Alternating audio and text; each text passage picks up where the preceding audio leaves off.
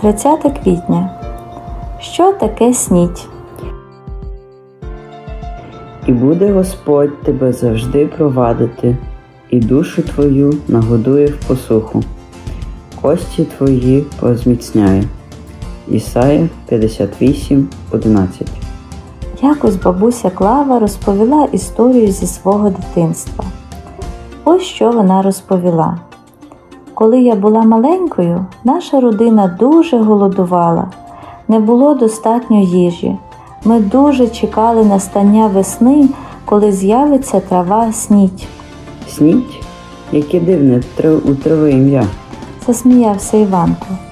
Назва сніть з'явилася від слова сніж, що означає їжа. Зелені пагони сніть першими з'являються навесні.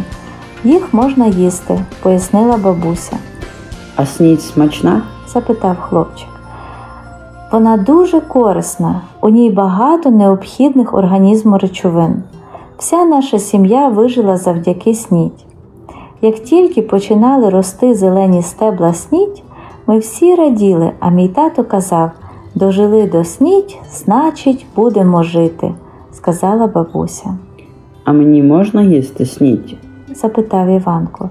Звісно, снідь чудове джерело вітамінів. Воно дасть нам силу після довгої холодної зими, промовила бабуся. Ходімо збирати сніть. Запропонував хлопчик. Важливе. Господь все продумав для нашого здоров'я. Вмій знаходити ліки у Божій аптеці.